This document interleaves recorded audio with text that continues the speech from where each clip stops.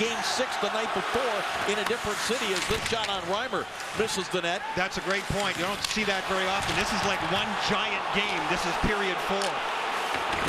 On top of that, as many in the hockey world are aware of, the Boston Bruins found out during their game we got a penalty coming here, a delayed call against Boston.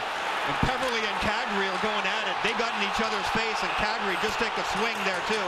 Look like we're going to get both of them going. Well, if that's the case, a great job there by Peverley because clearly Boston was getting the only penalty. Toronto had the puck. And the officials are talking, Brian. Well, Peverley is a very experienced guy. There's the initial hit there. Oh, yeah, he slew-footed him. There is no doubt about that. And Kadri wasn't very happy about it afterwards. They started jawing at each other. Peverley did the smart thing, stayed right in his face, pressed the kid, and the kid blew up a little. He should have walked away. There's lots of time in this game for Nazem Kadri to have gotten back against him, and he ends up in the penalty box.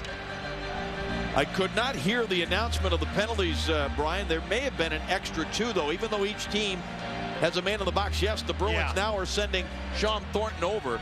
So, indeed, an extra penalty called against Boston. And so Toronto has the first power play of this game seven, presented by Kia Motors.